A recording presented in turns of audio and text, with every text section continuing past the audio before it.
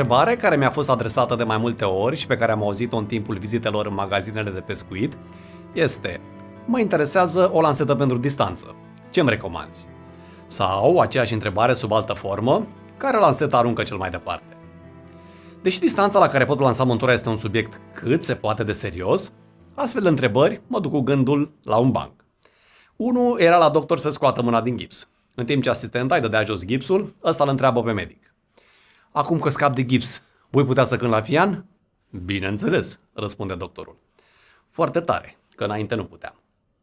Fără să vreau să explic gluma, ideea este că lanseta nu aruncă singură. Mai mult, o lansetă proiectată pentru distanțe extreme necesită ca pescarul să stăpânească tehnica aruncărilor în forță. Altfel, dacă un șofer începător se urcă la volanul unei mașini cu mult scai putere, e posibil să iasă în decor la primul viraj.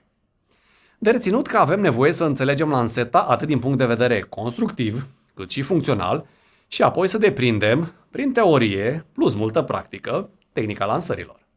Asta dacă vrem să obținem maxim din ce ne poate oferi lanseta și totodată să reducem riscul ruperii lansetei în aruncare.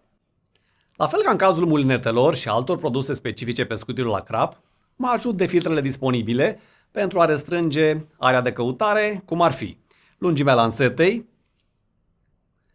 testul de curbură sau puterea, acțiunea lansetei și așa mai departe. Pentru moment, mă voi opri la filtrul producător pentru a realiza un clasament ordonat descrescător pe baza modelelor disponibile la fiecare producător.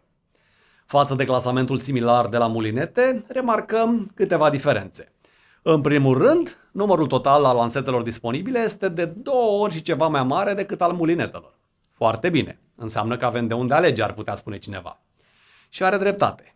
Numai că asta vine și cu un dezavantaj. Cu cât am mai multe opțiuni, cu atât este mai dificilă alegerea.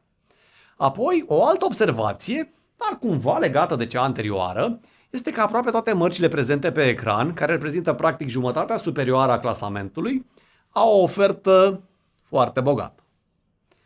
Dacă nu am o marcă preferată sau nu țin neapărat să cumpăr o lansetă a unui producător cu tradiție, ajung la concluzia că filtrul producător nu mi este de mare ajutor când vine vorba de lansete. Tot legat de marca lansetei, mai este un aspect care merită adus în discuție. După cum am văzut, sunt peste 20 de mărci, unele dintre ele cu zeci de modele disponibile, altele cu doar câteva. Mai mult, ca în orice domeniu, există atât mărci cu tradiție, cât și producători intrați recent pe piață care încearcă să convingă prin prețuri atractive și în unele cazuri prin tehnologii inovative, cel puțin la nivel declarativ. Nu mai reau discuția despre branduri și cum ne pot influența în luarea deciziei, din moment ce acestui subiect i-am dedicat un capitol separat în primul episod al seriei. Însă, întrebarea care m-a frământat și la care s-ar putea să caute răspuns și alți pescari este dacă să aleg un producător consacrat, cu mulți ani în spate și prezență la nivel mondial, sau să încerc lansetele unor mărci nou apărute în peisaj. Adevărul este că suntem puși în fața unei decizii deloc simple, mai ales dacă lansetele noilor mărci sunt tentante din perspectiva prețului. În ceea ce mă privește, cu riscul de a rata ofertele atractive, prefer varianta confortabilă și sigură mergând pe mâna producătorului cu experiență dovedită. Cu mențiunea că, dacă noul brand și lansetele sale vor trece testul timpului, nu voi avea nicio reținere să le includ în lista scurtă la un moment dat. Concluzia acestei introduceri este că producătorul, chiar dacă sunt fanul unui brand, nu mă ajută foarte mult în a alege direct lanseta care mi se potrivește.